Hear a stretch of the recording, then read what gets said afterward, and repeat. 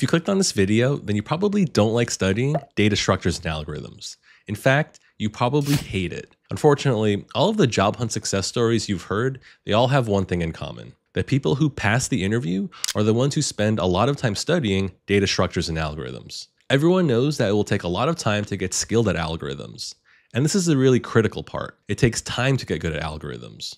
This isn't a bad thing though, because this means that getting good at algorithms is a matter of time. Really, the hard part is putting in the time. This is easier said than done because, to be honest, studying data structures and algorithms can be brutal. It's hard to sit down and study for long hours because the process is so frustrating. We inevitably get stuck, confused, and lost, and so this makes us not want to do it.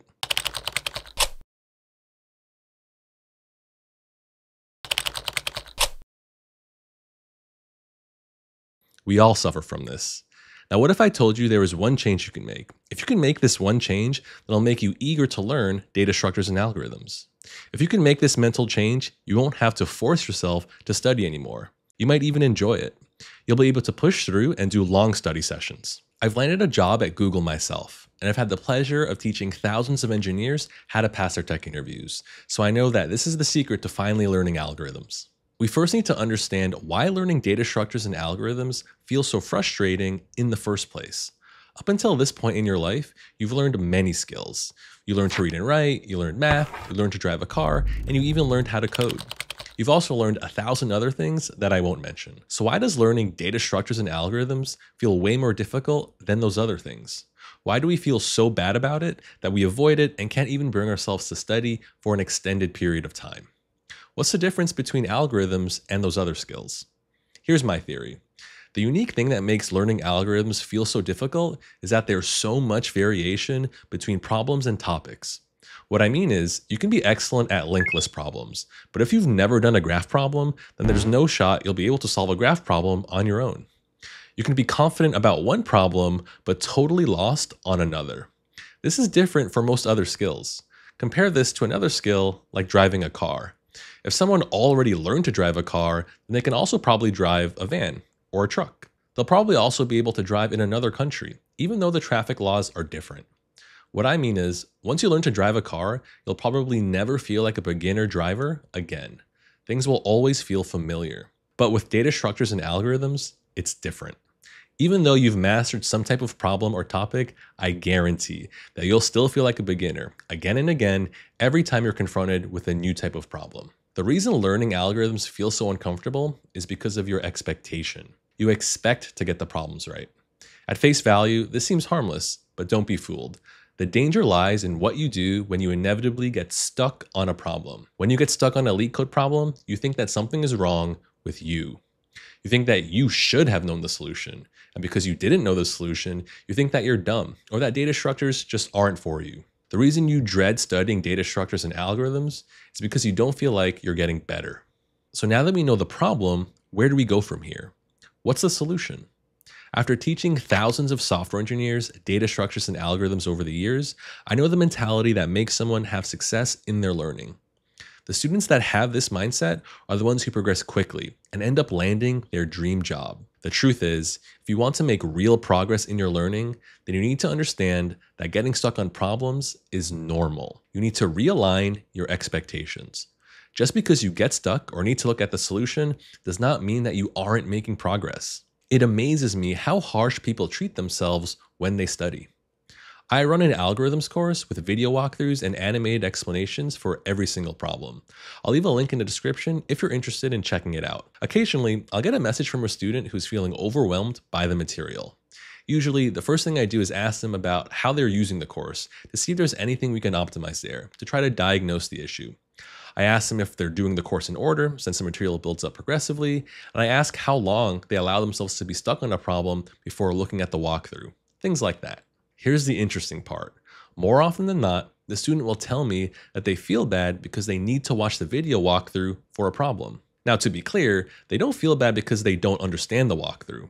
In fact, they specifically tell me that they totally understand the walkthrough. They feel bad at the fact that they needed to watch the walkthrough in order to understand how to solve the problem. They expected to be able to solve the problem on their own without any help. I'm here to tell you that this expectation is unrealistic. For new problems, you will simply not know how to solve them on your own. The only way to solve them is if someone teaches you how first. No one is born with this knowledge, and virtually no one invents algorithms on their own.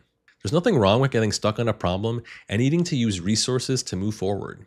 It's normal to get stuck when you study. In fact, getting stuck is exactly what studying should feel like. While you study, you can and should help yourself by looking at the walkthrough. Despite your deepest beliefs, using the walkthrough does not mean you're giving up on the problem. You have the tools in front of you to gain the knowledge now, so there's no need to be upset that you need to use those tools.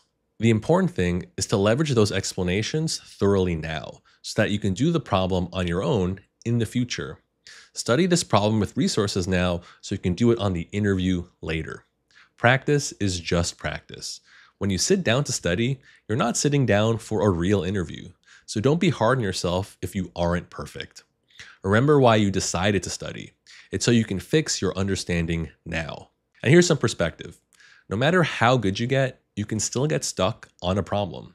And I don't just mean kind of stuck. I mean, you can be totally lost on a problem even after you've mastered many topics.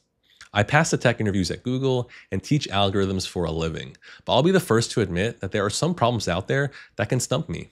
Some problems will just fall outside of the realm of your current experience, no matter how good you get. Now, you might hear all of this and wonder, well, then what's the point of studying? If you could spend all that time studying and still get stuck on a new problem, does it even matter if you study? I'm here to tell you, of course it matters. In fact, the point of studying is to experience as many problems now so that when you walk into that interview, you have those experiences under your belt. Data structures and algorithms will always feel like an uphill battle. As soon as you feel good about one topic, you'll quickly be humbled by the next. This is totally normal. It's not that you aren't improving, it's actually the opposite. You are improving. As you get smarter, the problems you confront get equally harder, making you feel dumb again, until you eventually master them.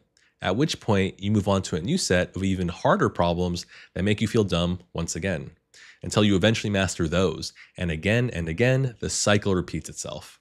You get smarter, but the problems you need to learn next also get harder. So don't be too hard on yourself during the journey. It's all part of the process. If you like my take on learning data structures and algorithms, then I think you'll enjoy my complete course at Structy.net. It's a course designed to take you from the basics of algorithms all the way to advanced topics. The best part is, I've designed the curriculum so that it builds your understanding gradually.